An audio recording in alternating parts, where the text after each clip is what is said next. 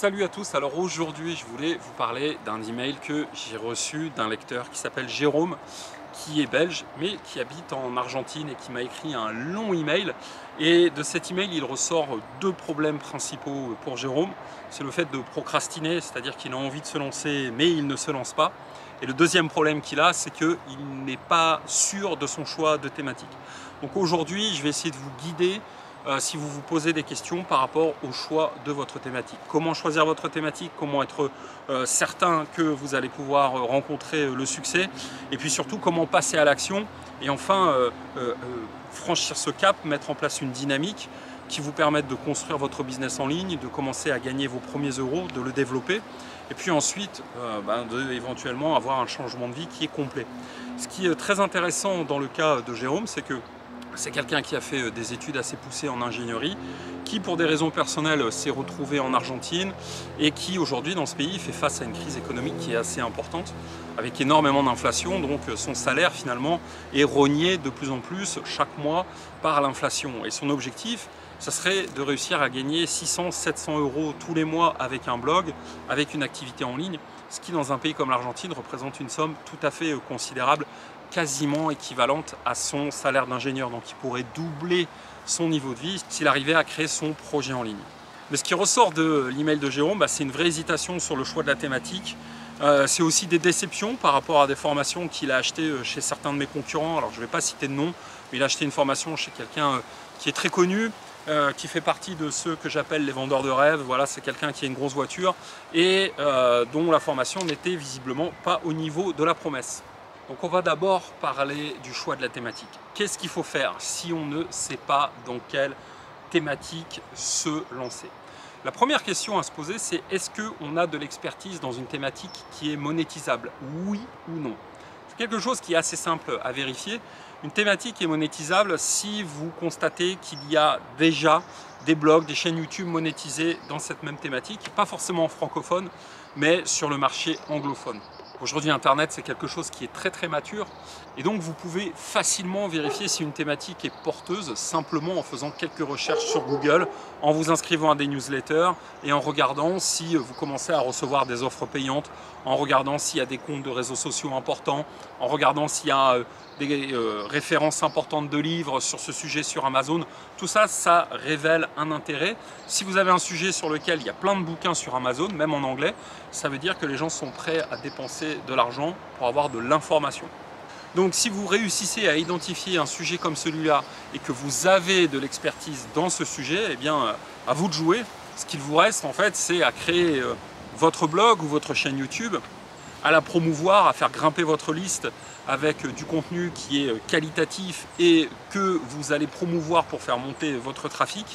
Au fur et à mesure de la création de ce contenu, vous allez créer un lien de confiance avec votre audience qui pourra vous amener progressivement à la monétisation.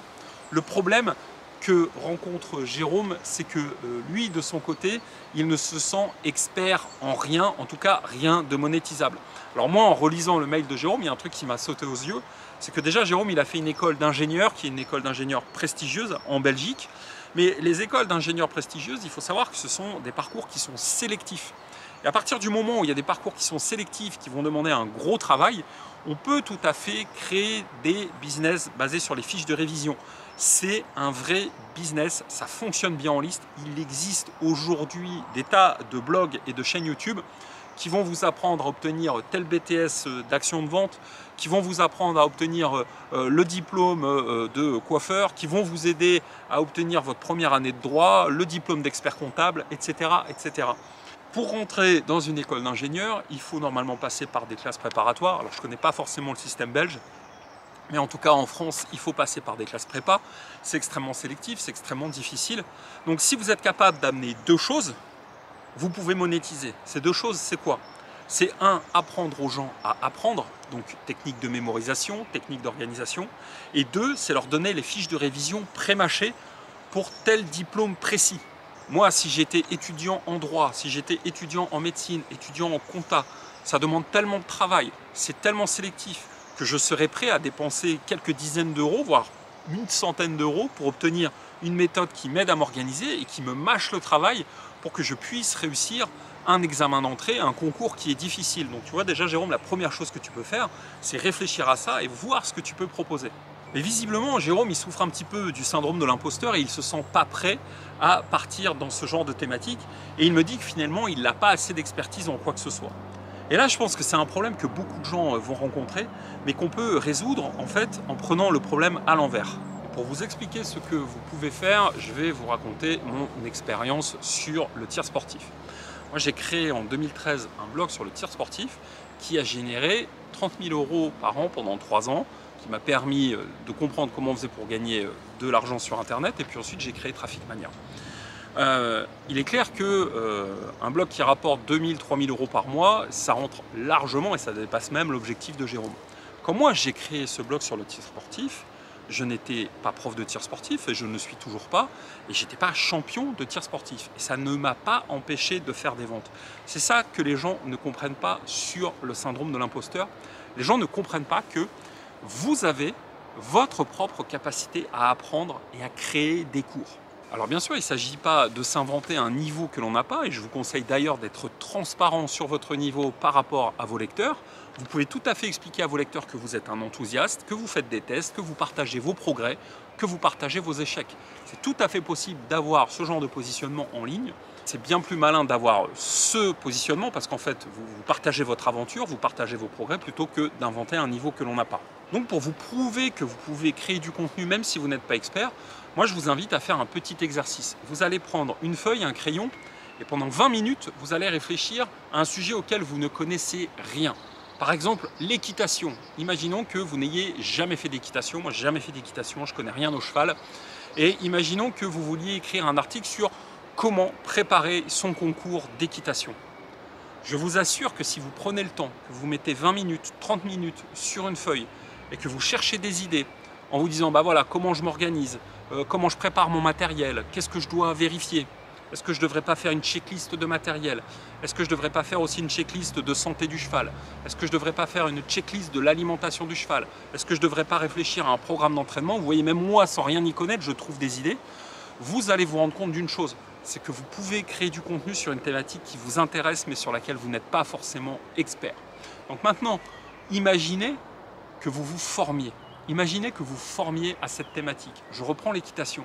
Imaginez que vous achetiez 15, 20, 30, 40 bouquins sur l'équitation et que vous alliez encore plus loin, que vous achetiez des bouquins sur les chevaux, des bouquins d'école vétérinaire sur les chevaux, que vous achetiez des bouquins sur la préparation mentale du sportif, des bouquins sur l'alimentation animale, des bouquins sur la musculation du cavalier, sur la préparation mentale, eh bien vous allez constater une chose absolument incroyable, c'est que vous allez avoir suffisamment de savoir pour créer des articles, pour créer des formations et intéresser les gens.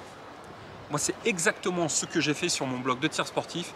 J'ai joué carte sur table. J'ai dit aux gens, je ne suis qu'un simple passionné, je ne suis qu'un simple pratiquant et je partage avec vous mes réussites et mes échecs. Et ce que j'ai fait, c'est que je me suis formé, c'est que j'ai ensuite été testé, c'est que j'ai fait le tri, c'est que j'ai lu des bouquins sur la préparation mentale, la préparation physique, la nutrition, l'organisation des entraînements, et j'ai réussi à concevoir mes propres méthodologies, et les gens achetaient, et les gens étaient satisfaits, les gens obtenaient des résultats. Donc en réalité, plutôt que d'attendre de devenir expert dans n'importe quelle thématique, ou alors de vous lancer au petit bonheur la chance avec un blog sur le développement personnel ou sur le web marketing, qui sont des thématiques difficiles, compétitives, vous pouvez très bien prendre le problème à l'envers, c'est-à-dire identifier une niche qui vous intéresse, commencer à pratiquer, vous former et ensuite proposer vos produits à votre audience. Et encore une fois, tout votre contenu gratuit, ça sera votre chemin d'apprentissage. Et ensuite, vous serez capable de dire aux gens, voilà, j'ai trouvé une solution, j'ai trouvé une méthode qui marche pour moi. J'avais un niveau qui était un niveau zéro, aujourd'hui je suis à ce niveau-là, je vais vous aider à en faire de même. Et n'oubliez pas que dans n'importe quelle thématique, en lisant une cinquantaine ou une soixantaine de bouquins sur un sujet, vous en aurez plus lu que 98% des gens et vous serez encore une fois capable de créer du contenu qui est du contenu valable et qui va vraiment aider votre audience. Donc le, message que j'ai donc le message que j'ai répondu à Jérôme, à son email, c'était tout simplement de se lancer, d'envoyer au diable le syndrome de l'imposteur, d'identifier sa niche, de se former et de commencer à produire du contenu. Évidemment, le premier article ne sera pas parfait. Évidemment, la première page de vente ne sera pas parfaite. Évidemment, sa connaissance de sa thématique au début sera peut-être un peu approximative. Mais ce n'est pas grave, il ne s'agit pas de monétiser tout de suite, il s'agit de monétiser dans six mois, dans un an. Et la quantité de thématiques dans laquelle vous pouvez générer 500 ou 1000 euros par mois est absolument hallucinante et j'ai presque envie de dire quasiment infinie. Donc si vous voulez réussir vous aussi ce genre de projet, si vous aussi vous hésitez à vous lancer, le meilleur conseil que je peux vous donner, c'est de commencer à faire une première petite action. Quelque chose qui va vous prendre 10-15 minutes, mais qui va vous permettre de mettre en place la dynamique, vous donnera envie d'aller à l'étape suivante. Par rapport à ça, il y a déjà deux choses que vous pouvez faire. C'est télécharger mon guide sur les titres. C'est très important de réussir ces titres sur Internet parce que c'est un élément fondamental du trafic. Je vous donne 124 modèles de titres à recopier. Le lien est dans la description. Vous recevrez également une formation gratuite sur le trafic Internet. Vous aurez déjà des outils sérieux pour pouvoir commencer votre projet. N'oubliez pas aussi de vous abonner à cette chaîne. Merci beaucoup et à bientôt sur Traffic Mania. Ciao